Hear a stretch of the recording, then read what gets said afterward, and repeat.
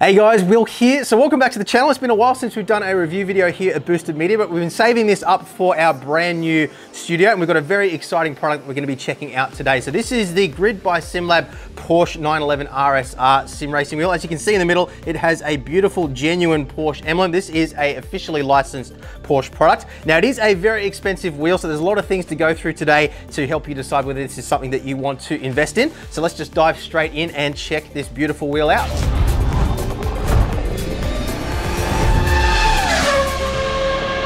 So firstly, a big thank you to Grid by SimLab for sending this wheel across to us for review. Now we will be comparing the wheel to a bunch of other options in today's video as well. So it's important that you guys understand that the conditions in which we've done all of those reviews are exactly the same. All those products have been provided to us free of charge to check out. And in all cases, we do also have affiliate links available too. So if you guys wanna pick up any of the wheels that we talk about in today's video, if you use the links down in the description below, a small percentage comes back to us to help us keep on going here and running the channel. So we really do appreciate your support support there. But as is always the case here on the channel, this wheel and all the other wheels that we're gonna be talking about today, absolutely no editorial control by the manufacturers or resellers or anything like that, purely just our own opinions and uh, yeah, our own observations when it comes to all of these products. So it's important that you guys are aware of all that stuff before we get started. But let's start off by talking about pricing. Now, as I mentioned earlier at the top of the video, it is an expensive wheel, comes in at 2,247 US dollars, uh, 2,475 5 euros or 3,258 Australian dollars. Now, obviously, you do need to check your shipping and taxes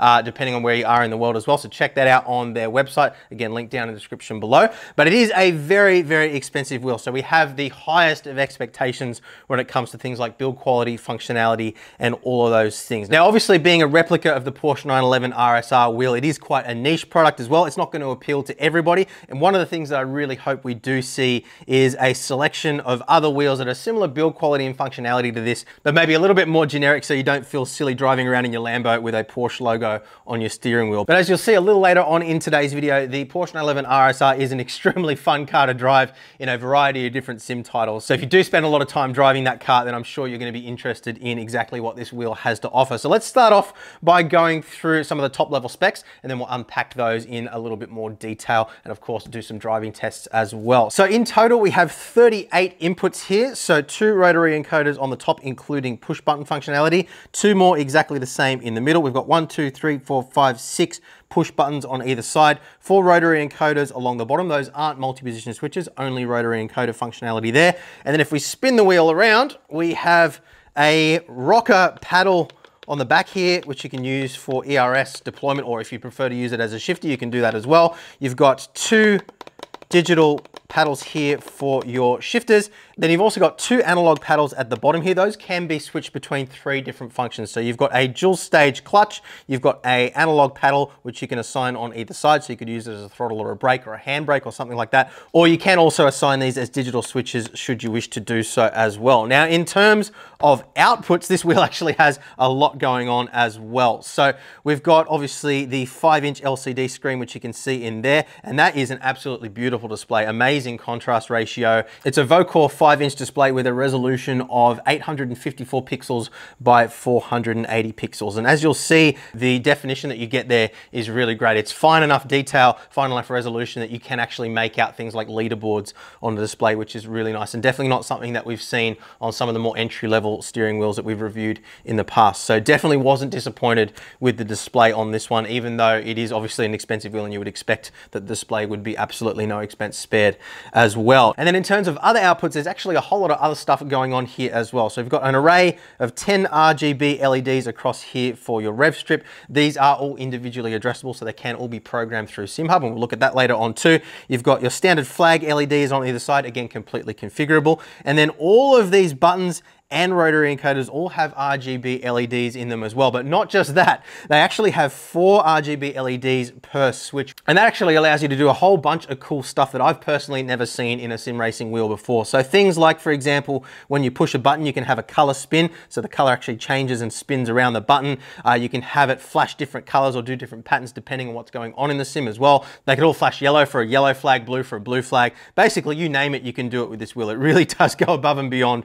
when it comes to cool effects and things. So believe it or not, when you add them all up, there's actually 80 individually addressable RGB LEDs in this wheel, which is just crazy, but it does make for some really, really cool uh, and creative things that you can do to make this wheel your own or just replicate what the wheel looks like in the real life Porsche 911 RSR if that's the way you want to go. So while we're still on the subject of buttons, let's have a closer look at exactly what these buttons feel like and operate like compared to some other popular wheels on the market. So this is again the most expensive wheel that we've ever reviewed here at Boosted Media by almost double. So keep that in mind when we're comparing to the other wheels in just a minute. Those do come in at a little bit more than half the price of what this wheel is. So we do have very high expectations here.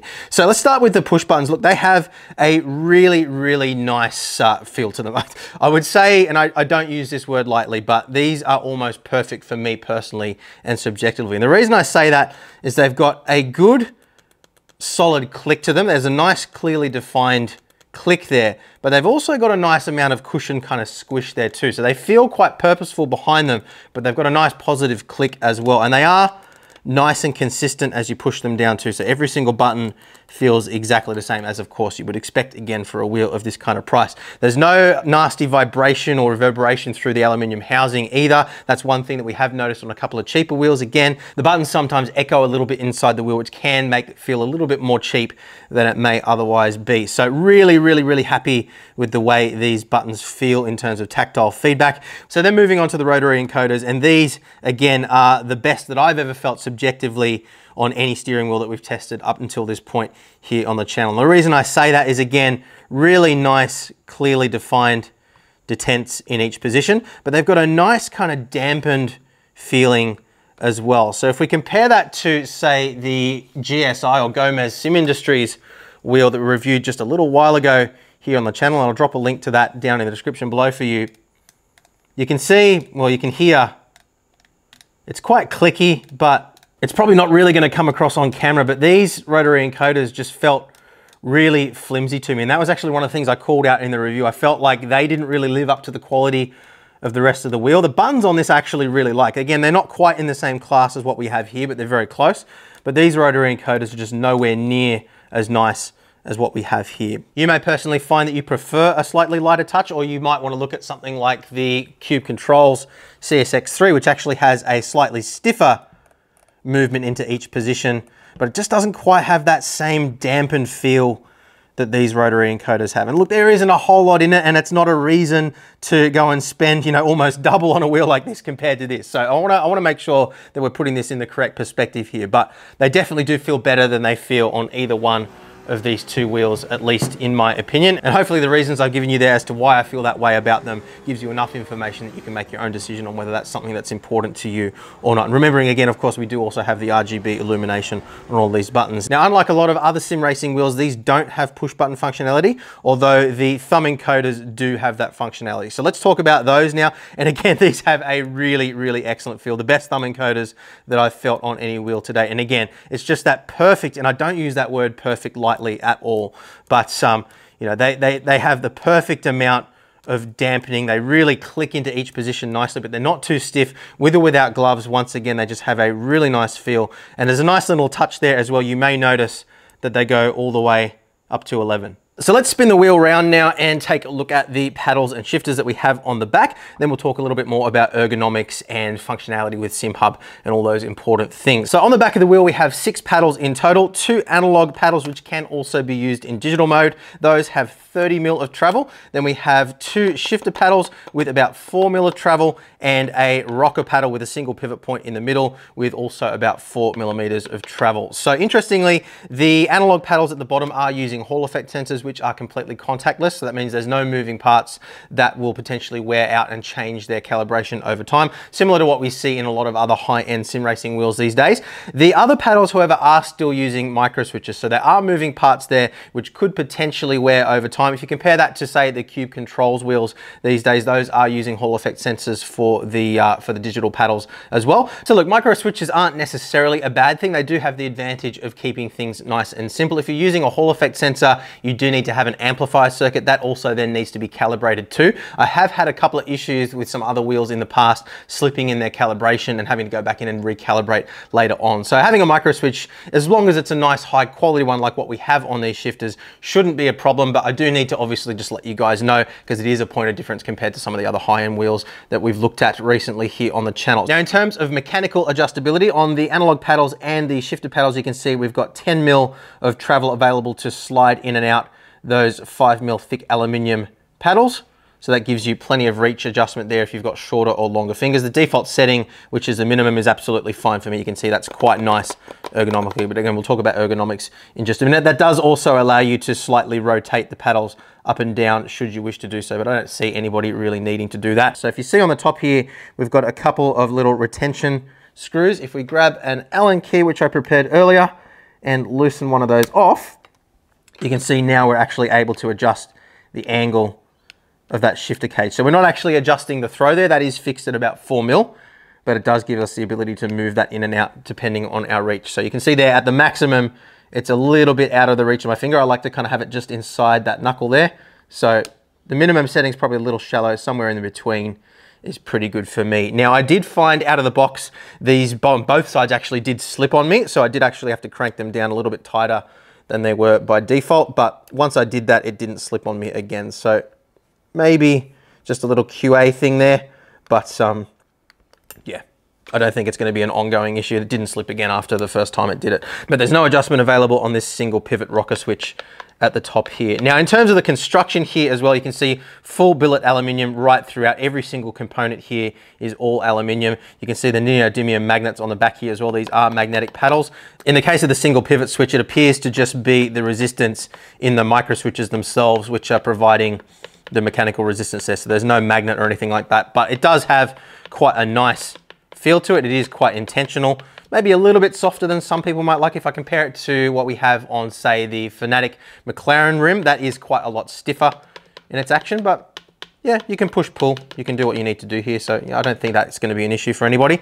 Mechanical resistance on the shifters is really nice as well. They've got a nice intentional positive click to them. And one thing that you will notice as well if you really get in there and have a close look is there is a little tiny pre-installed rubber damper on either side of those shifters. So you do have quite a relatively quiet action on these compared to some of the other wheels that we've looked at in the past. If I grab the Cube Controls wheel by comparison, you can hear just how much louder that is. And we'll grab the Gomez wheel as well. That is also metal to metal contact if I'm not mistaken. Yeah, it is. So just quite a lot clunkier and louder. It actually has quite a similar feel to it, but I like what they've done here with the rubber dampers. And same thing again here with the single pivot switch at the top too. There's some little rubber dampers pre-installed. Now some wheels these days come with rubber dampers in the packet and you can install them after the event if you want to, but I like the fact that these are pre-installed they're nicely done and I don't think we're gonna have any issues with them slipping out. So just quickly while we're still around the back here, one other thing to mention with regards to the analog paddles here, these do have three separate modes which you can switch between via a uh, input on the face of the wheel. So you hold down a button and then hold the button on the opposing side and that allows you to switch between the three different modes. And that is all very clearly outlined in the manual. And it's nice that you don't have to alt tab out of your game to make that adjustment too. Everything can be done right there on the wheel. So you've got a standard digital input mode which just works like a switch. So it's either on or off. There's no in between. You could set it to be two individually mappable axes as well. So maybe if you wanted to have it set to be your look left and right, maybe your throttle and brake or a handbrake, something like that, you can do that too. And you can map that to be any analog function that you want inside the sim, provided that your sim takes the input. And we didn't have any issues with mapping at all in any of the sims that we tried this wheel on. Uh, and then you also have your standard bite point clutch as well. So that works pretty much the same as it does on any other wheel. So you pull both paddles in, it takes it to 100% clutch input. Then you drop one side, it takes you down to your threshold point, that gets the car underway without any wheel spin, and then you slowly release your second hand to get the car completely underway. Now, the way that you calibrate that bite point on this wheel is quite clever as well. So there's a button sequence that you press, and we'll show you that on the screen right now to put it into calibration mode. And then what you can do is use the two buttons on the front as a coarse and fine adjustment, and you'll see the RPM strip along the top lights up. So each individual red segment is 10% adjustment. So you can imagine if you have a, uh, if you have seven LEDs LEDs lit up, that would take you to 70%. And then if you use the fine adjustment, you get green LEDs and that is from zero to 10% within that range. So if you were to go say seven red LEDs and five green LEDs, that would be your clutch threshold point set at 75%. So quite clever. It is a little bit hard to get your head around at first, the first few times you do it, but I do much prefer this method rather than having, again, to alt tab out of the game to go and set something up in a separate piece of software and then come back in again. It means that if you're quickly switching between cars, you're about to start a race and you realize that you forgot to set your threshold point, you can quickly do it while you're sitting on the grid without too much drama. So I really like the fact that they thought about things that can actually be achieved on the wheel itself without having to rely on software to make those adjustments.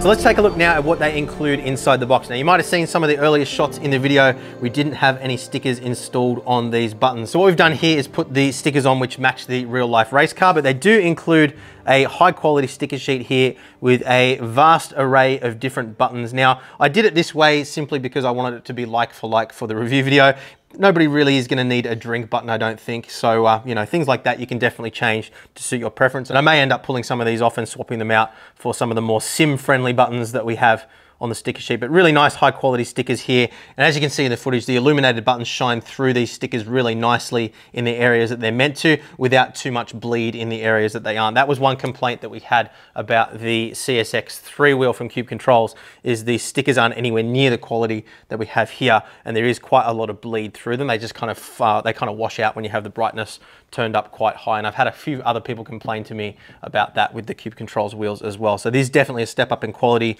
with the stick sheet. Again, as you would expect for the price. Just with regards to the stickers though, one thing that they didn't include in the box, which I would have liked to see and that you do get with Cube Controls is a little pair of plastic tweezers to just make it a little bit easier to put the stickers on without getting grubby fingerprints all over them and reducing the adhesiveness. Uh, now I actually went and got the, got the plastic tweezers out of the Cube Controls box to put the stickers on this, as you can see in the footage here. Now, otherwise inside the box, there are some pretty cool things that they've done here. So you get the standard mounting hardware to mount your wheel to the quick release of your choice. You get a couple of T-nuts and mounting bolts too, which we'll talk about in just a second. You get this really nice high quality coiled cable to go from your wheel, and that is a keyed connection, as you can see there. So one end connects through to your wheel. Now the other end connects through to this nice little tiny anodized aluminium interface box. And you can see that has got a USB-B connection on one end, which goes into your two meter long USB A to B cable, which they include in the box. Now you may notice that there is also a DC jack. Now I'm really, really, really happy about this. They also include inside the box an external power supply. Now you might be thinking that's a little bit clunky, a little bit cumbersome, and you'd rather just plug it straight in. So an issue that we've run into in the past with a number of wheels is if you overload the USB interface on your motherboard, or even if you've got a powered hub and you have too many devices plugged into it, you can run into all sorts of issues with reliability, particularly when it comes to these Vocore screens that they're using in these. These seem to be particularly susceptible to power related issues. Things like voltage droop can make them go crazy, make them go all garbled on the screen or just drop out completely. No, the steering wheel messed up. I've been having issues with the USB hub for a couple of days. It just glitched out, but my shifters are back now. So having an external power supply does away with those issues. Happy to report I haven't had a single issue with regards to reliability on the screen. So for those who might be wondering, that power supply is a 12 volt DC output with a 3 amp power rating or 36 watts. So you can imagine, you know, 3 amps of power is quite a lot to be drawing through a uh, through a powered USB hub or something like that. So it obviously makes sense that they do that. One thing we did actually notice about this wheel when I was using it at maximum brightness is it does actually generate quite a bit of warmth through the body. It actually feels quite warm to touch anywhere other than the rubber grips. So again, not a problem, but something that we observed and definitely would be a reason why they would be using an external power supply. So yeah, you get this little interface box here. It's got the keyed connection on one side for the link cable between the wheel and the interface box. Some little metal tabs here for connecting via the T-nuts that we showed you just a moment ago, so you can mount those on the rig anywhere that you want. Obviously, if you don't have a T-slot rig, then you can come up with some other solution. I actually just stuck this to the rig with a little bit of double-sided tape so that I could take it back off easily for the review. And you can see on the front here, a little inlay of carbon fiber. So very nicely finished. And on the front, we've got the grid logo. Warning, 12 volts. Shouldn't be too dangerous. And use approved grid wheels only. And just with regards to the connection cable as well, one other thing that I did want to point out is if you have a look around on the back of the wheel here, you can see it is a nice high quality connection. One of the things that they've told me is that they've intentionally designed this. You can see the little carbon fiber inlay here. If that plug does become damaged for any reason, all you need to do is just unscrew the two little pieces here and then that entire module is relatively easily replaceable. So let's talk a little bit more now about the ergonomics and driving experience with this wheel. Now, the first thing you're gonna notice when you pick one of these up is that it is extremely heavy. It weighs in at 2,050 grams or 2.05 kilograms. Now, in my experience experimenting with this wheel on a couple of different bases, the, uh, the threshold where I felt that it started to have a, uh, a noticeable impact on the quality of the force feedback was around about the sort of 10 newton meter mark. So if you're running on a more entry level direct drive wheelbase, this may not be the wheel for you. Anything over about 10 newton meters for me at least felt fine. Now, when I say the impact, what I mean by that is the dampening effect that it has on the force feedback. Anything that you add weight wise to the stem of your motor is adding rotating mass to that wheel. So what that means is you're gonna have a little bit more inertia with rotation, which can actually feel quite nice in your hands if you've got a more powerful base, but it will also impact the response time of the wheel as well. So if it's having to you know, change direction very quickly with this kind of weight attached to it, if you don't have a very powerful motor, you will notice the impact of that. But again, on the flip side, it does give you the, the sensation of the wheel actually being mechanically connected to something in the car as well. So if you're driving with a wheelbase that doesn't have a lot of sort of natural inertia, natural friction, then you may actually find that you like the feeling of a heavier wheel attached to your wheelbase. But I would imagine, you know, again, in the context of this wheel and given its price point, I would imagine most people are going to be running a more high-end direct drive wheelbase anyway. But if you are running something like a uh, like a CSL DD or maybe like a Moza R9 or R5, then this probably isn't going to be a good wheel for that base just based on the weight of it alone. Now, otherwise ergonomically, we've got a diameter of 300 millimeters, which is pretty much ideal for a variety of different styles of cars. Now, again, this wheel is obviously very specific in its target audience and type of car that they're going to be driving. But if you want to drive Formula style cars or even GT style cars, you aren't going to have any trouble at 300 millimeter. The other thing I really like about it is well is that all the controls are very, very easily reachable. So I can rotate my thumb around and I don't have the biggest hands in the world. I've actually got pretty girly hands. And uh, as I rotate my thumb around I can reach all of those buttons on the side quite comfortably. The only ones that I actually have to take my hands off the wheel or my eyes off the road to navigate to adjust the rotary encoders on the front. The thumb wheels all work very nicely with or without gloves. And as I mentioned earlier the amount of resistance in those rotary encoders is the word that I would use is perfect for me at least. I really really like the way that these feel. Now the grips themselves are nicely designed as well, a lot thinner than what we have with the, again, I'll use the Gomez wheel as a point of reference because this is something that was a polarizer for a lot of people. You can see just how thick the rubber grips are on this wheel. Now I actually quite liked that. I felt it, it felt quite chunky and nice in my hands, quite significant. But for a lot of people, that was actually a deal breaker with this wheel. And I actually spoke to quite a few people that bought these wheels and ended up selling them purely because they didn't like the feeling of the grip and just how chunky they were. And since the time that we reviewed this wheel, which wasn't all that long ago, Gomez have actually released another new model now, which has grips that are more similar to this sort of style. So you can see they're a lot thinner, but they still feel very comfortable in your hands. Pretty much exactly the same rubberized material that we see used on the Gomez wheel as well. So it does feel nice and squishy in your hands, it does have a tendency to feel a little bit tacky, and it does also have a tendency to pick up dirt and debris and dead skin cells from your hands as well. So look, it does have the advantage when you compare it to say leather or Alcantara of being extremely durable. We haven't had any issues with any of the wheels that we've seen with this material used and we have had quite a few of them that we've used for a number of years now. Never seen any issues with it wearing down. However, I will say that if we compare it with the CSX3 from Cube Controls, I've actually used a different type of material on this wheel, which looks very similar and has a similar amount of squish to it, but it doesn't have that same kind of tacky, sticky feel to it. It's a lot smoother and it's actually a lot easier to clean and uh, it doesn't pick up anywhere near as much dirt and debris and skin cells and things like that. So I would say I actually do prefer the material that they've used on the Cube Controls wheel. The other thing that I really liked about this design as well is they've been sensible and actually put hard plastic in the highest areas of wear on this wheel too. And if you want to see more detail on that, definitely check out the review video that we did on the CSX3 just recently here on the channel. But look, there's definitely nothing wrong with the grips on this wheel. It's purely going to be a uh, personal preference style thing. I just personally struggle a little bit with the tacky feel of the rubber grips with bare hands. Obviously with gloves, it's not an issue at all. But otherwise, very, very comfortable to use. Everything is very well laid out, of course, as you would expect, being a replica of the real life race car wheel. And look, ergonomically, there's really nothing else to really speak about there. So let's move on now to the materials used. We've already talked about a few of them with relation to the inputs and the shifters and stuff, but there's a few other bits and pieces that we need to cover here as well. So the entire face plate of the wheel here is constructed of one single piece of five millimeter thick genuine carbon fiber. So you can kind of see the outline of the carbon fiber around the tempered glass screen protector, which we'll talk about in just a moment. But we have a black sticker here over the fascia of the wheel, which actually covers a lot of that carbon fiber. Some people might actually prefer that that sticker wasn't even there so they could see the carbon fiber underneath. But again, being a replica, it is the way it is. But you can see it gives you that nice kind of edge around the wheel. And that being one single piece of carbon fiber does also make the wheel very rigid as well. So there's absolutely no twist in there whatsoever. Obviously, it's hard to see moving around on camera. So there is absolutely no plastic on any of the touch points on this wheel whatsoever. The bezels around the switches are all anodized aluminium.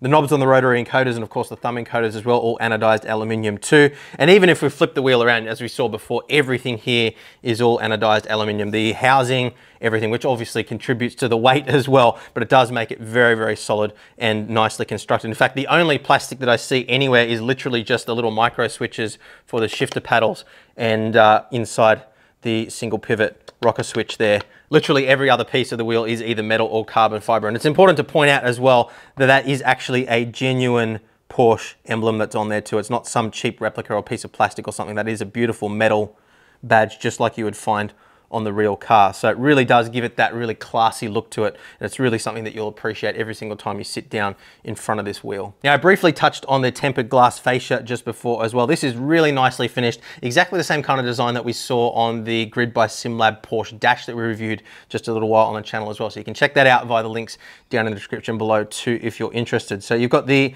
LEDs really nicely integrated here with a flush panel across the front. Those don't have any sort of bleed or anything like that across in between individual LEDs. So you get a really nice contrast ratio between the black areas and the LED areas there. The Porsche logo is really nicely integrated too, and it all appears to just be one piece of glass there. Being tempered glass, it is relatively scratch resistant as well. It isn't a touch screen. And again, if we pull across the Gomez wheel and the Cube Controls wheel for reference, once again, one of the things I didn't like about the Cube Controls wheels was this plastic bezel around it. Just kind of looks ugly. And one of the big complaints that I had was that it actually blocks a few pixels on the top and bottom of the screen depending on your viewing angle. And even if you look square onto the screen, and you can check the review on this for all the details on this, but yeah, it was just blocking a couple of pixels, not an issue at all on the Porsche wheel. Every single pixel on the display is visible within reasonable viewing angles at least. Remembering, of course, it's a steering wheel, it's gonna be in front of you, so you're not gonna be looking at it completely side on, but yeah, in front of it, it looks absolutely fine. And yeah, I mean, again, it's a subjective thing, but I actually really like this clean, integrated look compared to something that's kind of extruded like what we have with the GSI wheel as well. Although I do like the fact that this is metal on this wheel and not plastic like what we had on the Cube Controls wheel. Now I know we usually have a little bit of a sneaky look inside the wheels we review here at Boosted Media. Unfortunately, you can't really pull this wheel apart to have a look inside yourself. You can see up the top here, these blister stickers, as well as the sticker down the bottom are actually covering the screw holes. And if I try to peel those stickers off, I really don't want to destroy them. So I'm not going to pull this wheel apart. However, I was able to get a couple of photos from Grid by SimLab to show you the internals. Looks pretty much exactly the same kind of build quality as what we saw with the dash, which doesn't surprise me at all. So if you want to have a look at the kind of quality that you can expect from this wheel, in addition to what you're seeing on your screen right now in these still photos, then you can definitely check out that dash review. And that gives you a little bit more of a picture of what's going on inside. But just lastly on the hardware before we move on into our conclusions, just need to talk a little bit about this hub adapter, which is integrated as well. So this is a standard run-of-the-mill 70 millimeter stud pattern like you would find on the majority of wheels. What they've done here is every second hole has a thread and the holes next to them don't have threads. So that basically means that if you've got a quick release that you need to bolt in from the back, you can go through the hole in the quick release to the thread on the hub adapter, or if you've got a quick release that has threads on it, you can go through the front, through the holes without threads, and that way you don't get any thread binding going on. Now, one little point of complaint here is, uh, and we were using the Zero Play quick release, which is actually a product that is developed by uh, Hybrid Racing Simulations here in Australia, but uh, SimLab actually sell these as one of the items that they stock as well. These are the, this is the quick release that we've been using here on the channel for a number of years now. We have a review on this link down in the description below for you guys as well. So this bolts on in a standard fashion like so. And uh, the ones that I ordered actually do have threads on them. What I've done in a couple of cases is just drill those threads out with a five mil drill bit uh, to be able to bolt in from the other direction. But in this case, I wanted to be able to bolt through from the front. And the screws that they include, or the little bolts that they include uh, inside the box for the wheel, a little bit too tall to fit through comfortably from the front side, which was a little bit frustrating. But more importantly, they don't include an Allen key in the box. So if you're trying to use a standard kind of Allen key like you'd find in any hardware store, you can't actually get it in there. You can see it's not gonna reach with the screw in there as well, and particularly when you get around the shifters, which makes it impossible to do up. Now, if you compare it with Cube Controls, what they do is they actually include inside the little hardware tool bag a very, very shallow little Torx kit actually include Torx uh, bolts in the case of Cube controls, but in this case it's hex. But it would definitely be nice if they included a shallow little Allen key just to make that that little bit easier. Little things like that are really frustrating when you've just spent a lot of money on an expensive piece of gear, you're really excited to get it up on your rig, and then you can't install it because of something stupid like that. So not a major issue, and again, depending on the quick release that you're planning on mounting this to, it may not be a problem for you at all. But you know, when you're paying this kind of money for something, these are the kinds of little things that we do have to nitpick. But in terms of the quality of the hub itself, absolutely no complaints whatsoever. However, there was no discernible flex from side to side with the wheel mounted on the wheelbase or anything like that. So absolutely fine in that regard. So let's talk a little bit now about the software side of things. Now, as I mentioned earlier, a lot of the core functionality with this wheel is adjustable and changeable directly from the wheel itself, which means you don't need to go into an app to make adjustments. Now, they are actually developing an app similar to what we have with Cube Controls uh, to make adjustments to things like the lights. At the moment, all of the lights are completely configurable from within SimHub. It can be a little bit clunky, however, to get things working. We did run into a few issues just sort of trying to customize things ourselves to really get the most out of this wheel. So it is a little bit of a labor of love when it comes to things like this. And anybody that's used SimHub for more advanced functionality like that would know exactly what I'm talking about there. Uh, we had similar kinds of issues when we tested the Gomez wheel as well. So it's certainly not a complaint about this wheel specifically. It took me three or four days to actually get that wheel up and running with quite a few of the functions. So yeah, it's just one of those things. SimHub is such a powerful piece of software. There's so many things it can do. And with that level of functionality also, of course, comes a level of complexity. So it does take a little bit of time to get your head around it. But the good news there is that Grid do have a very strong online community on Discord. There's a lot of user created profiles that are shared there as well as some official ones too. And those profiles are more than enough to get you up and running with the basics. Then you can customize on top of that should you wish to do so. And that's something that I was really happy to see. You may remember we reviewed a Grid Dash a number of years ago now. And one of the complaints that I had about that at the time was that there wasn't enough community support behind it. There wasn't really enough profiles and things like that to really sort of, I guess, justify the cost of that product at the time. So I'm really happy to see that that is something that they've really been working on and they've really strengthened in the number of years that it's been since we did that review. So you can expect good community support there. Uh, yeah, we did have a couple of little teething issues with setting this up. They were really quick to help us, but again, you know, we're reviewers, so it's not necessarily typical of the uh, standard customer experience. But yeah, if you jump on Discord, there'll be somebody there that will help you out and those default profiles work really nicely. So SimHub is relatively easy to get up and running. You simply open up the software. Uh, they do have in the latest versions a profile thing there built in too. So what you can do is you can actually tell SimHub that this is the device that you've got connected and it kind of sets you up with some default profiles ready to go. If you want to do more complex stuff, you may want to set the screen and the LEDs up separately as you see here. But as is the case with any SimHub compatible wheel, the sky is really the limit when it comes to what you can do there with creativity and adjusting LEDs, making them do all kinds of funky things. And as you saw earlier, with the four individually addressable LEDs that we have for each of the individual buttons on this wheel, you can do all kinds of funky effects like spinning and uh, you know reacting to inputs and things like that too. So really at the end of the day, it's as complex as you want to make it, but I am looking forward to seeing what they bring to the table with their own software package to make things that little bit easier just to configure colors and things like that.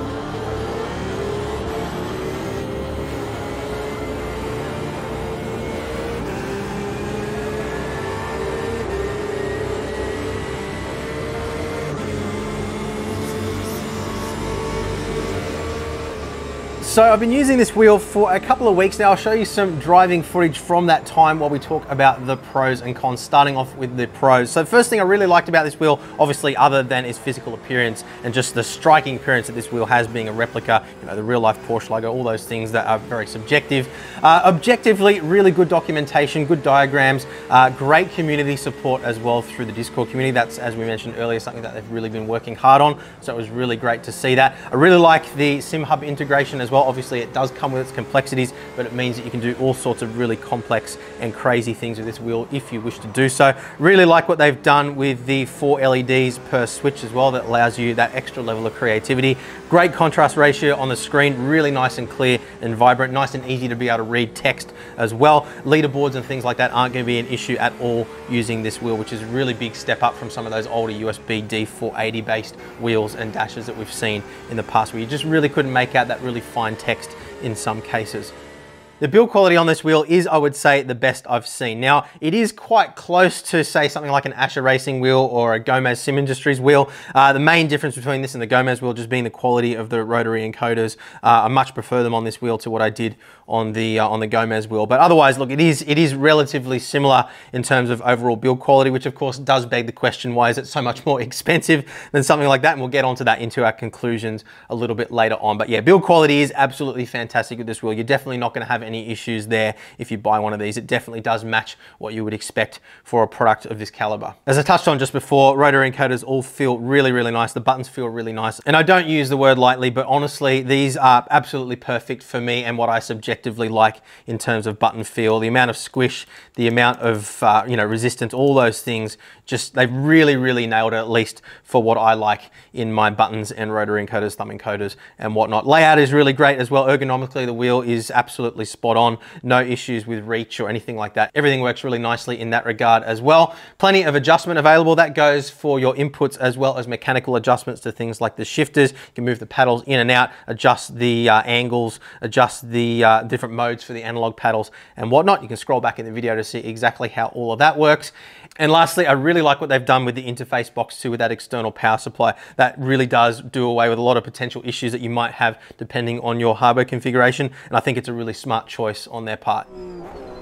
So cons wise, it is a very niche product being Porsche branded. Would love to see them adopt the same kind of quality in a more generic wheel with wider appeal. Obviously, you're not going to be wanting to stare at a Porsche badge if you're driving a Ferrari or a Lambo or something like that. So it does definitely narrow down the target audience for a wheel like this. It is extremely expensive as well. You do get what you pay for, but it certainly isn't going to be a wheel for everybody. And we'll unpack that a little bit more in our conclusions in just a second. One complaint that I do have, which we haven't mentioned prior, is the the little interface box, I really wish that this had a power button on it. Now, a lot of rigs, people are turning off at the wall when they finish driving for the day, but if you do have a rig that stays powered on for some reason, being an external power supply here, the wheel is gonna stay powered up all the time unless you go and unplug it or switch it off at the wall. Now, they do tell me they are working on something for that. I assume it's gonna be a power button on the interface module. It may be something on the wheel. I'm not sure at this point, but this seems like the sensible place to put it, at least to me. So yeah, that was one thing that I immediately kind of thought, where's the power button? And it turned out there wasn't one. So that's one thing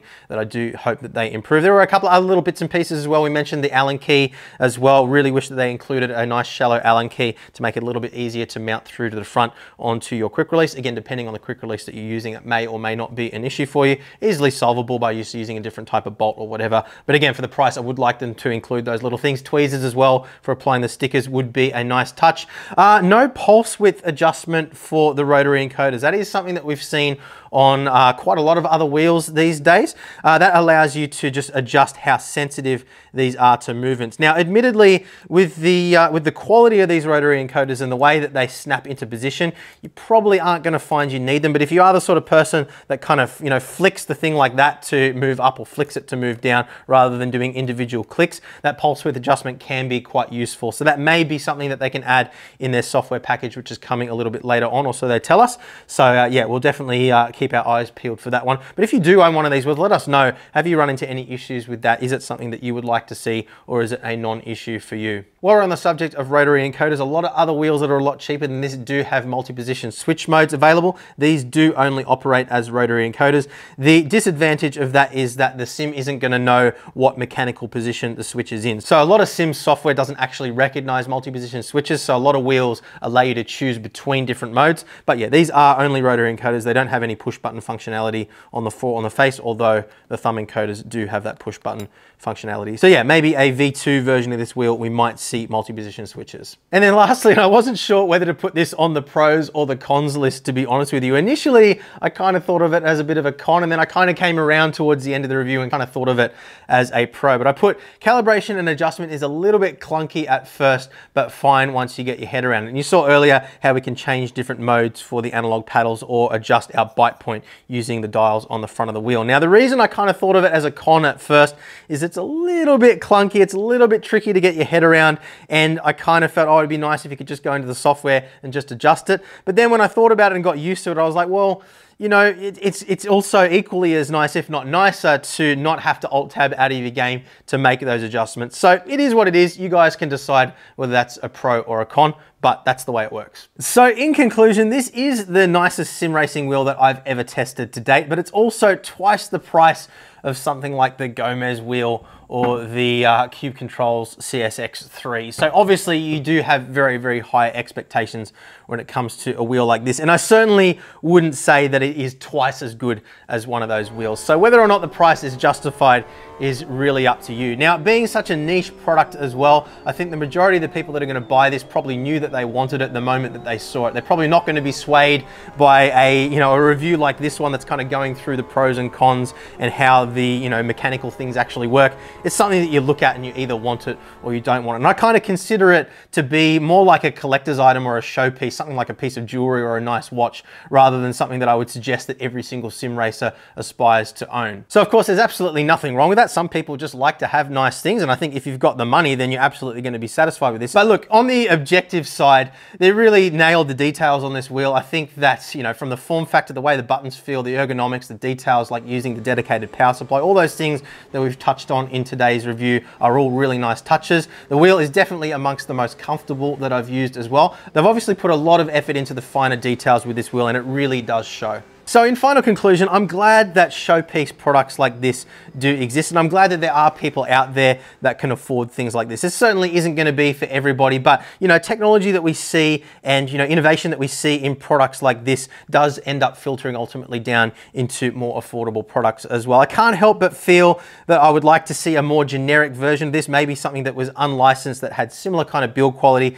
similar kind of functionality at a lower price point. If they can get it down to the price of something like the GSI wheel or the uh, or the Cube Control CSX3 wheel, I think that they would sell a lot more of them. They tell me that they've already sold hundreds of these though, so obviously they're doing something right. And if you do happen to own one of these wheels, definitely let us know what your experience has been like down in the comments below. But yeah, it's an absolutely awesome wheel. I just can't help but feel that it is very, very, very expensive for what it brings to the table, particularly when you compare it to what else is available out there as well. But again, as I said before, this is more of a showpiece. It's more of a piece of art than a piece of functional equipment, although it does have all that functionality. But I don't think people are buying it purely for its functionality. They're buying it because it looks awesome and it's something that they, uh, you know, they're going to be proud to own. And I definitely think that, uh, you know, when you consider all those things, the target market for a uh, for a product like this I honestly don't see any reason to say anything other than I think that they've really nailed it. So uh, yeah, I hope that today's video has helped you out. If it has, please do leave a thumbs up. Consider subscribing to the channel as well if you haven't already. And if you do decide you want to pick one of these up or any of the other products that you've seen mentioned in today's video, check out the links down in the description below. That is an awesome way of helping to support our work here at Boosted Media at no additional cost to you. And we really do appreciate all the support there. But above all, thank you very much for watching, guys.